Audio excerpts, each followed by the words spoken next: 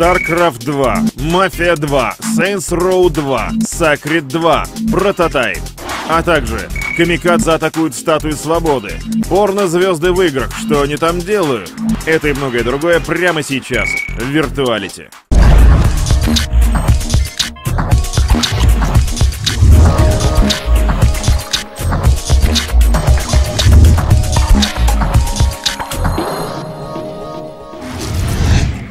Привет, меня зовут Макс Васильев, и это Виртуалити. В ближайшие полчаса вас ждет только самая новая и интересная информация из мира видео, игр и компьютерных развлечений. Голливуд, по слухам, собирается экранизировать Uncharted. На роль Натана Дрейка претендует Мэтью МакКонахи. Помните, красавчик из фильма «Как отделаться от парня за 10 дней». Давайте их сравним.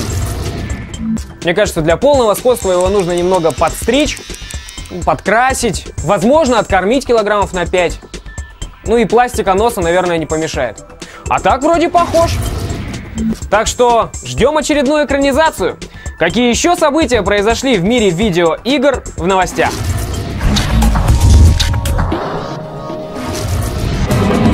Немецкая компьютерная ролевая игра Sacred 2 вот уже совсем скоро выйдет на консоли. Приставочники ликуют в предвкушении, компьютерщики посмеиваются и продолжают играть. А разработчики, студия Ascaron Entertainment, отправляются по миру. Причем в своем завещании они обвиняют в банкротстве именно консольную версию Sacred 2, которая высосала из компании все деньги. Интересно, что подобная ситуация уже происходила с немцами ранее. Мне видится, это ушлая немчура просто что-то там мухлюет. Как обычно, они всех обманут. И получат еще плюс 10 к харизме и плюс 100 золотых монет. В интернете нарисовалось 20-минутное видео из грядущего хита StarCraft 2. Парочка геймеров, один из которых явно азиат, отчаянно рубится в долгожданную стратегию. Зерги против терранов, Запад против Востока, порядок против хаоса. В этом ролике есть все. Следить за ожесточенной баталией настолько увлекательно, что даже как-то забывается тот факт, что игру обещали выпустить еще в прошлом году. В общем, видео зачетное. Не пропустите его хотя бы для того, чтобы узнать, кто победил. Хотя я лично ставлю на азиата.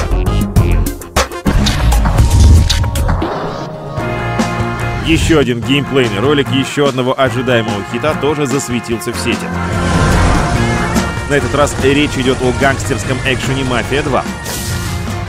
Видео нам показывают грядущие перестрелки, погони, несколько сюжетных сцен и примеры озвучки персонажей.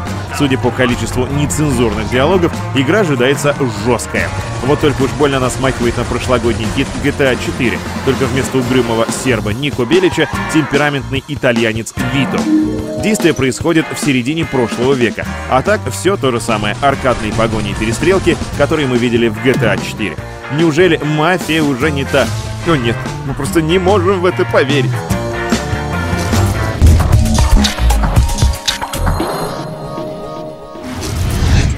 Новость, в которую тоже трудно поверить. Российский генштаб займется разработкой компьютерных игр. Звучит устрашающе, не правда ли? Военные считают, что патриотическое воспитание не приносит желаемых результатов и хотят заняться, цитирую, производством и распространением среди молодежи компьютерных игр военно-патриотической направленности, а также создание военно-патриотических медиапрограмм. О как! Думаю, отечественные разработчики будут только рады воплотить мечты военных, ведь работы у них сейчас немного. Если в нашей стране хотят делать патриотические игры, то на Западе наоборот, дают возможность побывать на каждой стороне конфликта и вообще творить свою собственную историю.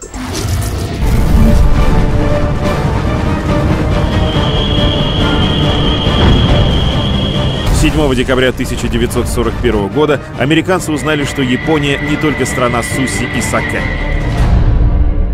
Стремительная атака японских императорских войск на Перл-Харбор, уничтожение четырех линкоров, двух эсминцев и полное превосходство на воде и в воздухе. Император мог по праву гордиться своими подданными.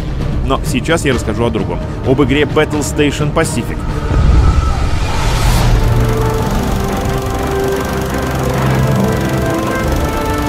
Это продолжение стратегии в реальном времени Battle Station Midway, вышедшей два года назад и полюбившейся геймерам. Правда, не всем. Кое-кто ругал игру за скучные миссии, кто-то за несовременную графику, кто-то за странное управление.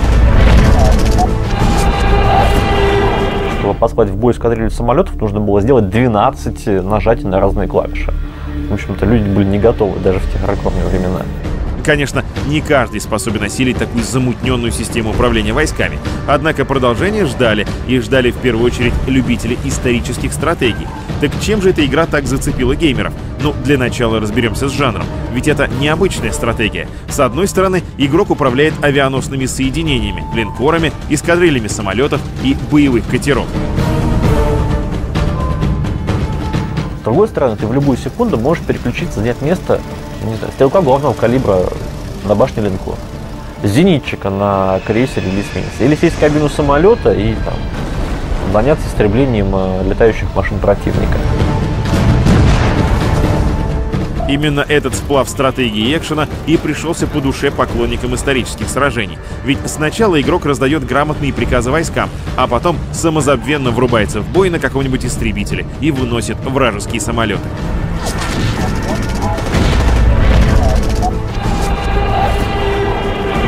Фактически мы имеем возможность повторить исторические операции американского и японского флотов на Тихоокеанском театре боевых действий. Причем для игрока доступны обе стороны конфликта, что лишь добавляет проекту привлекательности. Вы только представьте, что можно сделать, играя за отчаянных самураев.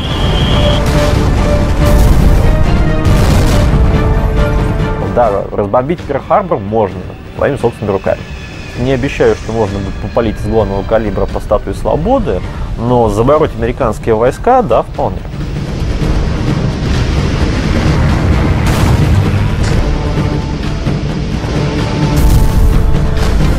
Ну что, и этого тоже вполне достаточно. Тем более, что в вашем распоряжении будет около 70 различных боевых единиц, от линкоров и субмарин до боевых лодок и самолетов камикадзе. Так что, конечно, пишите свою альтернативную историю с помощью игры Battle Station Pacific, но все же не забывайте, как было на самом деле.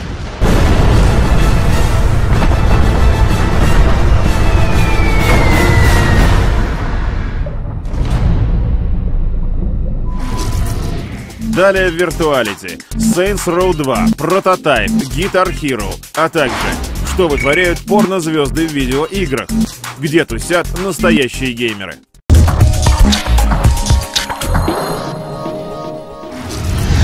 Это Виртуалити, мы вернулись. Знаете, что можно сделать за 30 баксов? Нет, ну понятно, вариантов масса. Но оказывается, их можно потратить на обучение Тетрису. Курс длится 90 минут. За это время можно посмотреть, как в него играет ваш наставник, а потом попробовать самому.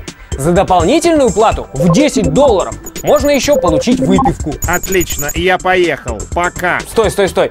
Я разве не сказал? Курсы проходят в Ванкувере. Жаль. Ну ничего не поделаешь. Зато в проекты, о которых пойдет речь в новостях, можно поиграть никуда не выезжая. Они распространяются через интернет.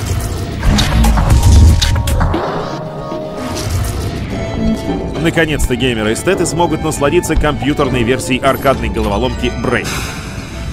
Главный герой Тими на протяжении всех ее уровней прыгает на большеголовых монстров, собирает какие-то ключи, решает пазлы и ищет, ищет, ищет свою принцессу в разных замках. А принцессы-то и нет, только какие-то чудики. Проект знаменит в первую очередь благодаря всяческим выкрутасам со временем. Здесь его можно перематывать вперед и назад, при этом свободно перемещаясь во всех направлениях. Частенько Тим нарочно подставляется под монстра или падает в пропасть, чтобы в последний момент отмотать время назад, удачно прыгнуть и оказаться у следующего замка. А там снова какой-нибудь чудик. В общем, не игра, а какой-то брейд. Главное в процессе прохождения не сломайте свой мозг. В противном случае для вас время назад никто не отмотает.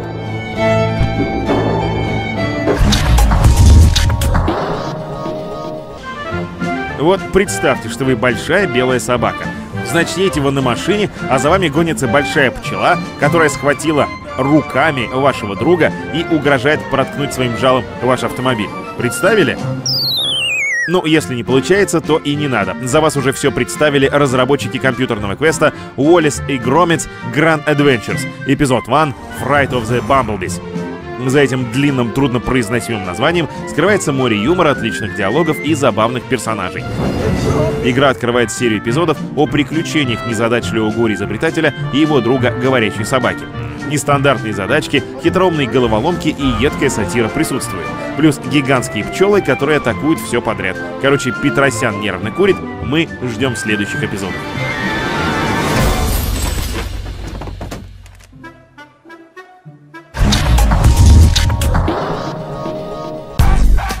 Быдланы и беспредельщики. Есть маза дико оттянуться. Все, что от вас требуется, разрушать, взрывать и терроризировать мирных граждан.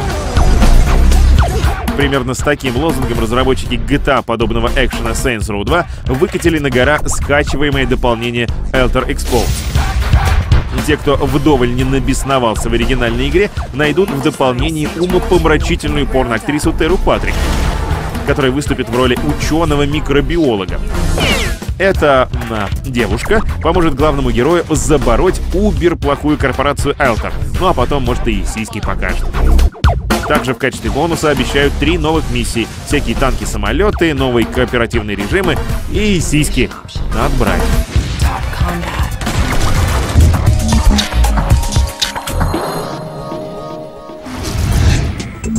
Сети можно не только покупать эти игры, но и рубиться в них друг против друга. Правда, сейчас возникла немного другая тенденция — совместное прохождение.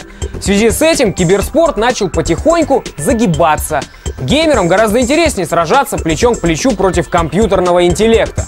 Хотя вот наш корреспондент, например, пытается доказать обратное. Макс, вот ты говоришь, киберспорт мертв, киберспорт свое отжил, а я здесь нахожусь на четвертом по счету Games Fest, и очень тут даже весело. Вон ребята йо-йо крутят, и, по-моему, все будет очень классно. Играть в одиночку перед монитором — это кайф. А вот показать свое умение перед сотнями живых людей — это уже испытание.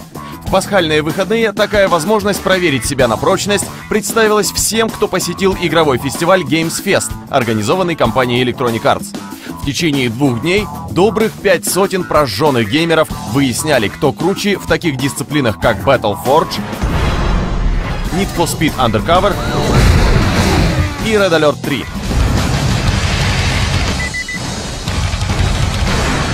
А основным состязанием стал король спорта, в том числе и виртуального – футбол. Турнир раздельный для профессионалов и любителей. Соответственно, пришло на любительский турнир больше 180 человек. На турнир профессионалов у нас только по приглашениям это 32 человека. Плюшками, которые полагались за победу в киберсоревнованиях, были деньги, памятные призы, а также вот такие кубки. А мы тем временем поинтересовались у кибербойцов на предмет их боевого настроя. Волнуешься? Да нет, вообще не волнуюсь. То есть первые разы, когда я начинал играть, волновался, сейчас вообще то есть, спокойно, как все в обычной обстановке. Ну, у меня сегодня день рождения. Конечно, хотелось бы принести себе подарок, но а, на самом деле думаю, что не получится. Просто обстоятельства такие, как бы, что на данный момент я не лучший игрок, на самом деле, здесь.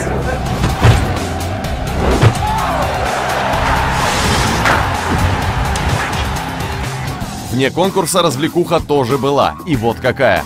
Любой желающий мог припечатать противника фейсом об тейбл в четвертом Street Fighter, перестрелять локустов в Gears of War 2, насладиться всей прелестью ядреной русской ненормативки в зале, где проходили любительские соревнования, а также поглазеть на выступления йо-йоистов, эм, йо-йоеров, э, ну, в общем, тех ребят, которые ловко обращаются с йо-йо.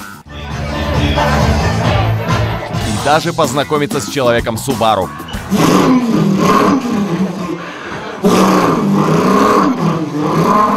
Событие почтил своим присутствием сам глава российского корпуса Electronic Arts Тони Уоткинс. Нормально? Естественно, мы не могли отпустить его, не спросив, понравилось ли Тони это действо. Ну, естественно, мне достаточно было посмотреть на аудиторию, увидеть выражение их лиц, чтобы понять, что все очень рады. Всем прямо не терпится сразиться друг с другом, это круто. Ну, серьезно, мне действительно очень приятно увидеть, как сильно люди поддерживают это движение. Мне сказали, что уже в 10 утра тут все ломилось от народа, этого мы и добивались. Не понравилось нам на Геймсфесте только одно. Тесновато было в клубе. Но с другой стороны, это же явный плюс. Истинные геймеры не какие-то там асоциальные ботаны, а вполне себе компанейские ребята. И это есть good. Далее Virtuality, Prototype, Guitar Hero, а также очередной урок школы онлайн-мужества.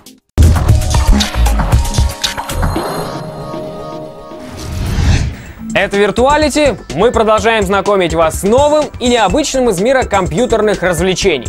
Консольщикам, мягко говоря, не повезло. Разработку приставочной версии легендарного Ведьмака прикрыли раз и навсегда. PC-шники снова the best. Единственное, что могу предложить в данной ситуации консольщикам, так это обратить внимание на другие игры. О них в новостях.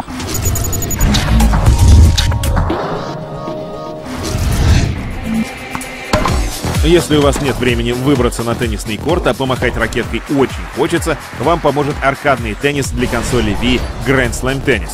И пусть вас не смущают большеголовые игроки и огромные величиной с арбуз теннисные мячи, медленно перелетающие через сетку. Взяли в руки вимоут и вперед махать.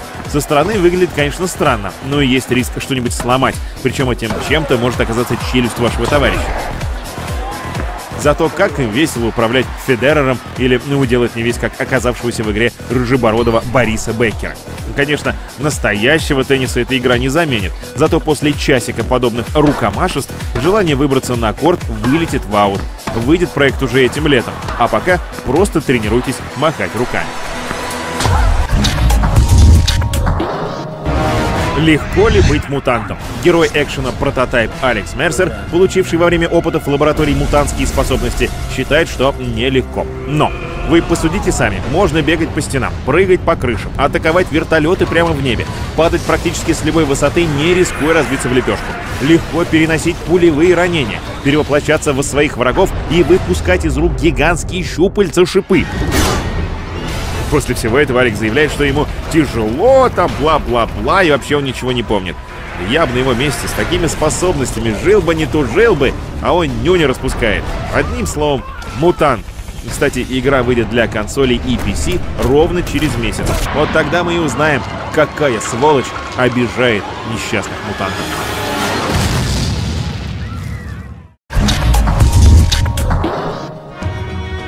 Что будет, если объединить воина, мага и лучника? Нет, это не Diablo 3, хотя это тоже правильно.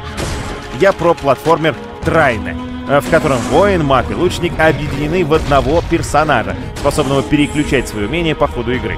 Скажем, встретилась вам в пути пропасть. Маг наколдовывает мостик, вы переходите, потом превращаетесь в воина, пробиваете дыру в полу, а затем, став лучником, убиваете врага на дальней дистанции и перескакиваете через шипы, уцепившись крюком на веревке за потолок. Короче, таким образом эта дружная троица пробирается через запутанные уровни игры. Почему и зачем, только им и ведомо. Больше всего эта игрушка напоминает старый проект Lost Vikings с похорошевшей графикой и умело прикрученной физикой. А появится это чудо 3 в одном на PC и PlayStation 3 уже летом. И вот знаете, все-таки одна голова хорошо, две лучше, а три вообще писец.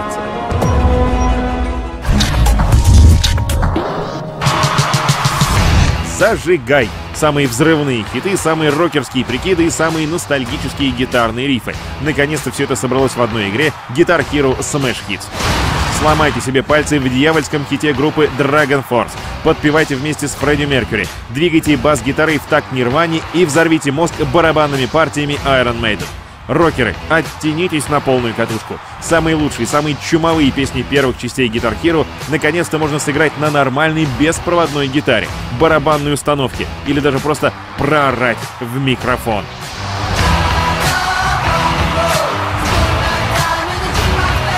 I love rock and roll. Put another time in jukebox, baby. В общем, ждем игру в июне.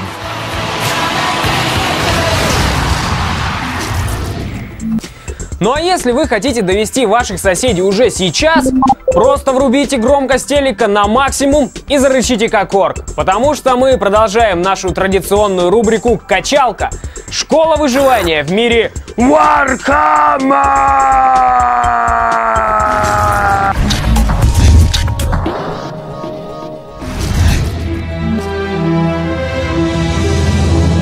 Как салаги! Если кто еще не понял, мир Warhammer Online огромен! И вам, сопляки, вовсе не обязательно постоянно торчать в одном месте! Шестой урок посвятим путешествиям! Пакуйте манатки! В дорогу!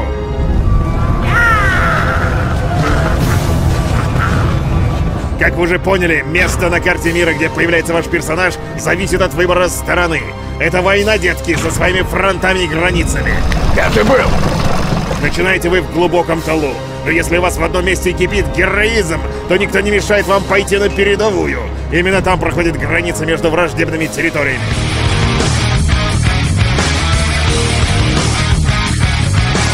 Как только вы вступите во владение неприятеля, и у вас над башкой загорится вот такой магический таймер.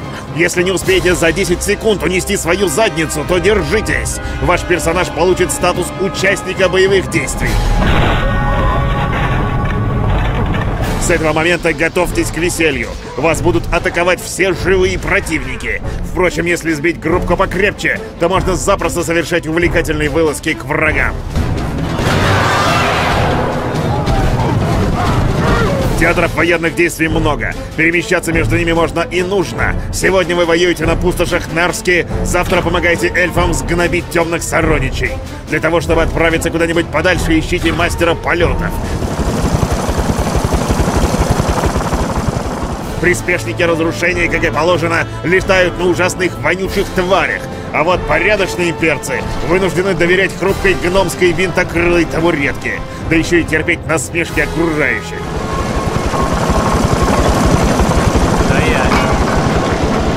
Да, боевой поп с пропеллером такой увидишь не каждый день.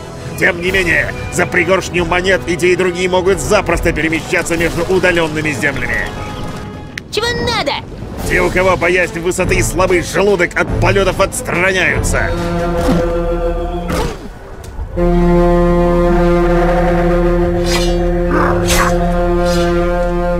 Хотя даже в пределах одной локации можно перемещаться не только на своих двоих. В мире Warhammer существуют маунты. Чаще всего это специально обученные животные, способные часами таскать вашу тушу на себе. Их выбор довольно широк, от благородных лошадей до мерзких болотных кабанов. Едешь по делам? Некоторые особо продвинутые вояки перемещаются при помощи таких вот механических конструкций.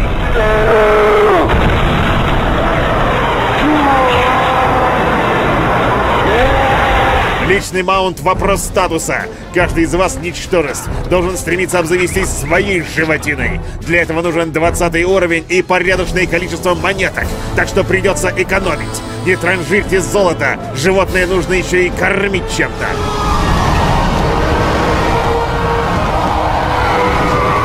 Итак, слушайте внимательно, оборванцы. Домашнее задание, пробная вылазка на другой континент. И обзаведитесь уже личным маунтом пешехода. На сегодня все. Вольно!